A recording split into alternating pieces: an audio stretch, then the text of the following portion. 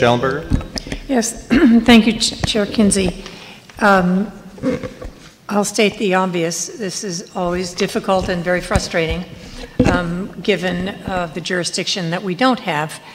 Uh, On the other hand, we do clearly have jurisdiction over protecting coastal access and protecting uh, marine resources. And uh, as somebody said fairly clearly, uh, a radioactive leak onto one of our beaches uh, would definitely have an impact on coastal access. I think there's a nexus there that, um, that I don't think we should unnecessarily shy away from. Um, having said that, I, I look at uh, special condition number two. And uh, if I'm reading this properly, we're, uh, what is being proposed is that it be a 20-year uh, permit application, and six months before that, in other words, 19 years and six months from now, um, the project applicant would provide us with uh, all of the studies and analysis and evaluation A through D.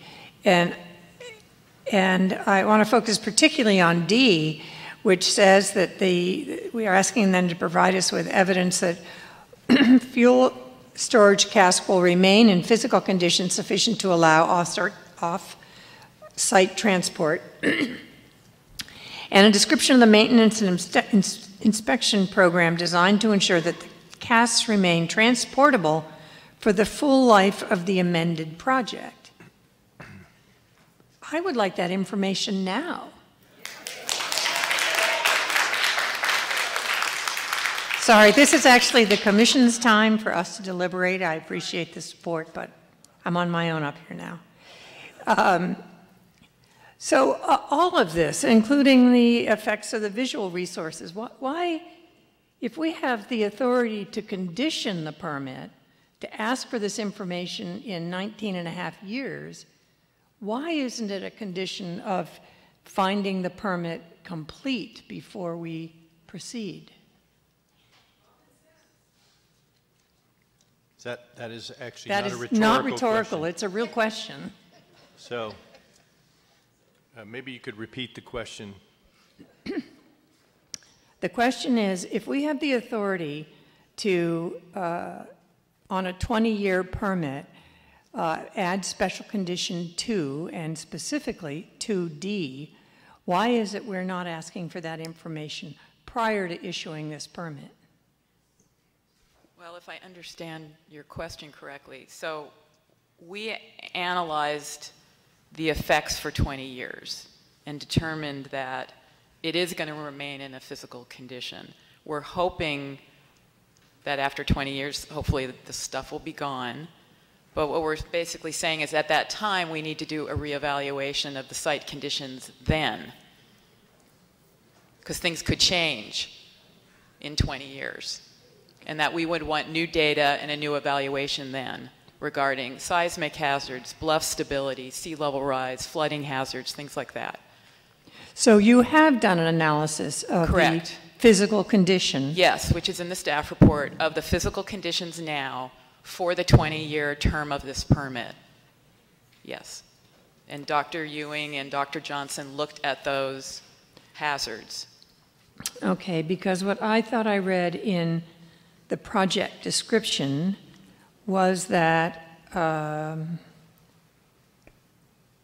that the project proponent was saying that they didn't actually, and I won't be able to find it because I didn't highlight it, are not actually able to do um, adequate inspection of these, uh, physical and visual inspection of these casks now. So then you're referring to the casks. The, the I guess I am, yeah. So you're, you're referring to the specific casks and whether they're safe? Well, is- whether- D does refer, special condition D, fuel storage casks. And yet in the, we're asking for evidence in 19 and a half years that those casks are remaining in a physical condition uh, allowed to be, tran- so they could be transported. And, and then we're wanting a description of the maintenance and inspection. And yet I read further in the staff report that right now they are unable to come up with a program where they can physically inspect these casks. Am I wrong about that? Please, I'm going to ask the public to allow the conversation to occur between the commission and its staff.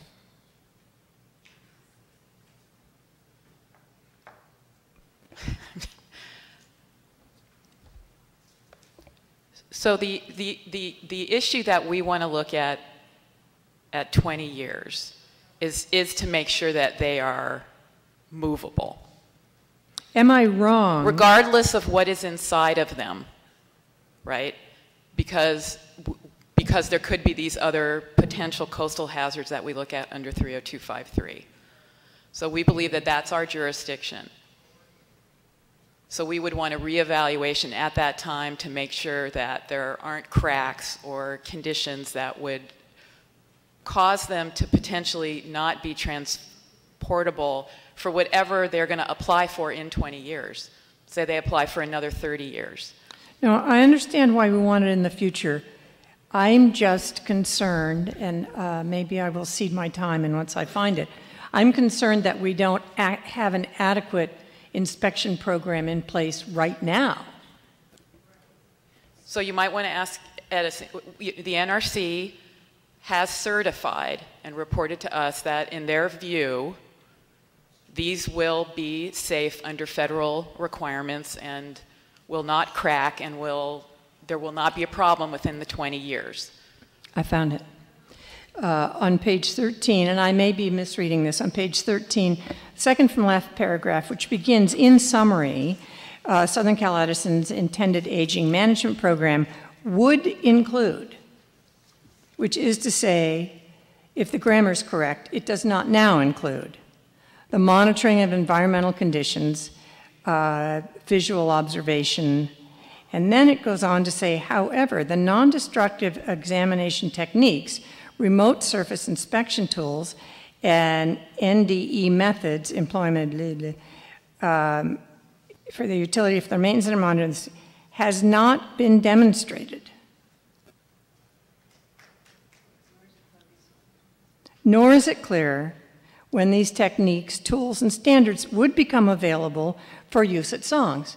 My non technical reading of that is that what we're being asked to approve something that there isn't adequate, uh, that they're admitting that they don't have a monitoring environmental conditions, that they don't have visual observation abilities, and that they don't have um, a way of doing non destructive examination techniques. And then it, I won't re- read your own staff report, but I, I'm missing something here because it sounds as if we're hoping that in the next 19 and a half years, this kind of monitoring is, is uh, developed, but we don't have it now, which is to say it would not be in place for the next 20 years.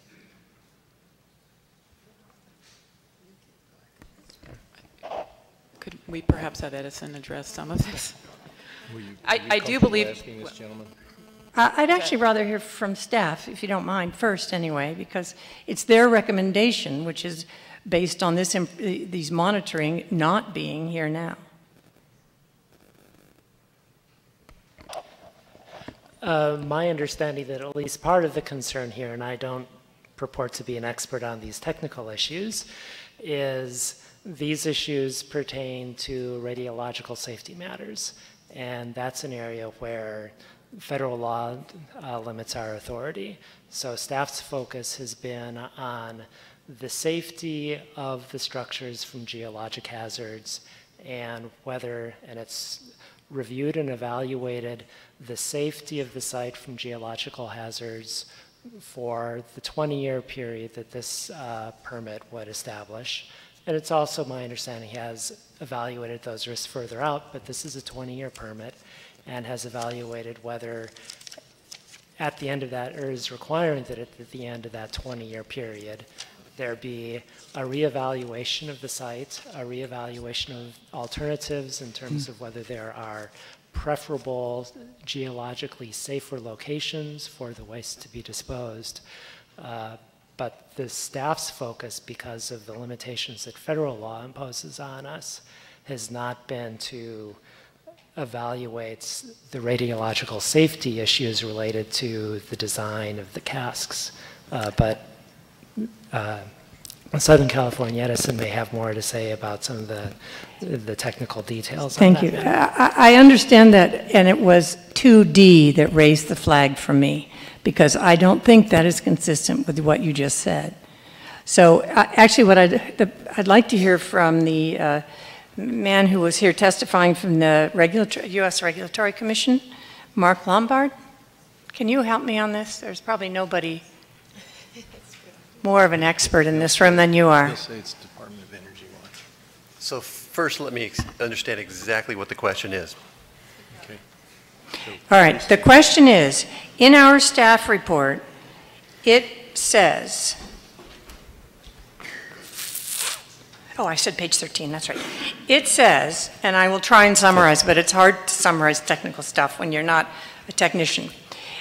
The Southern Cal Edison's intended a, the Southern Cal Edison's intended aging management program would include. Now, that grammar to me means that it doesn't exist now, that it will exist at the end of the permit. Um, A, a monitoring uh, of environmental conditions, and then has some examples. B, visual observation, surface measurements, and other inspection techniques to provide information on the physical condition of the MPCs. Uh, C, uh, using an empty cask, and, and, and then it ends with, however, the non-destructive examination techniques, remote surface inspection tools, and NDE methods, employment methods, qualification process, except it goes on and on and on.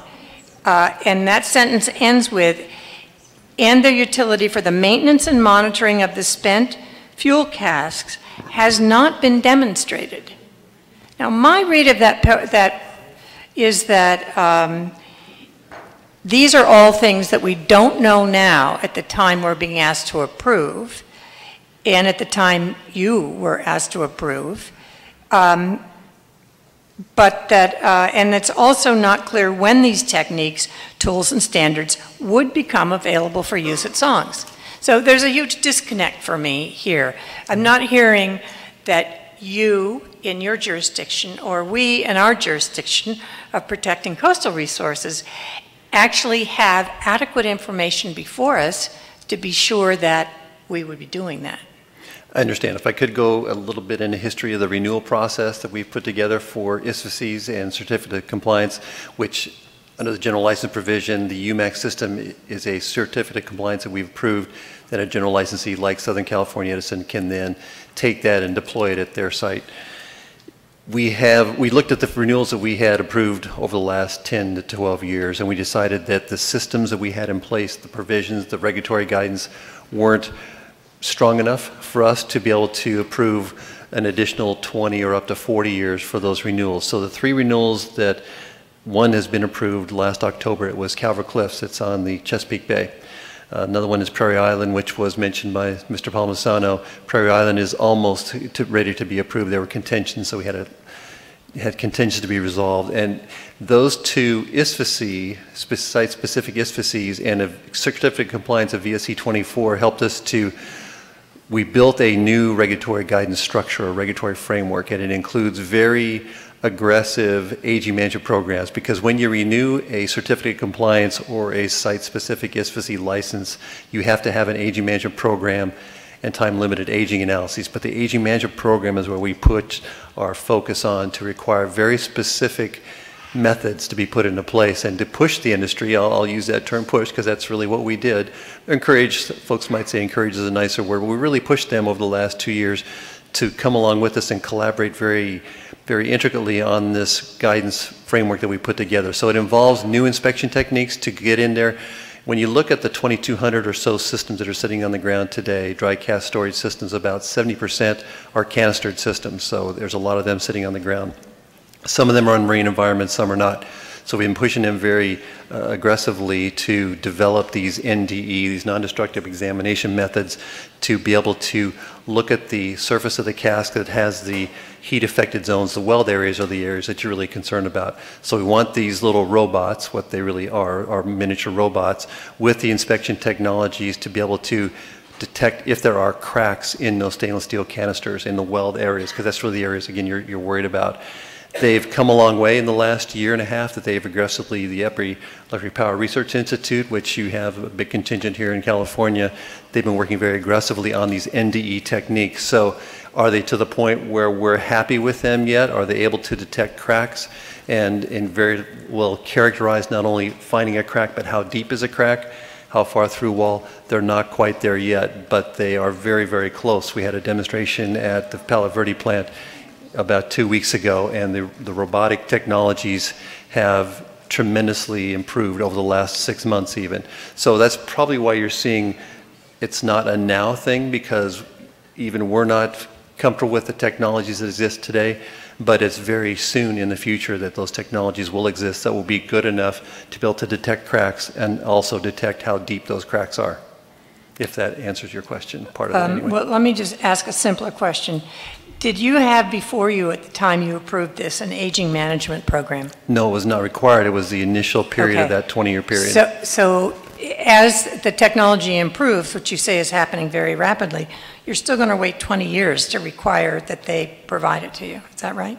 For this system, yes. That's the only one before us. The, I understand, I'm sorry. Okay. I understand. The mechanisms, because the, we've done a lot of work in this area, the industry's done a lot of work, EPRI's done a lot of work, and the mechanisms involved for, the- when you look at stainless steel canisters exposed to marine environments. Yeah. Well, this Yeah. is exactly what concerns Yes. us. And Yes. So I, I appreciate that. Um, Well, can I say, just for the San Onofre area, there's some work that EPRI has done. The report was issued some time ago, I don't think it was last fall, maybe the fall before, but it looked at crack growth once cracks initiate. It didn't talk about how long it takes to initiate, but once they grow, there's a, a range of years in the 30 to 40-year range before they go to a through-wall crack, which is what we're worried about, maintaining that radiation inside the canister. So you have time. The, the key is there's time available. All right, thank you. Thank you. Well, uh, uh, let me just say to staff and my fellow commissioners, uh, I'm very uncomfortable. I understand the dilemma we're in- Um, I understand the jurisdiction difficulties.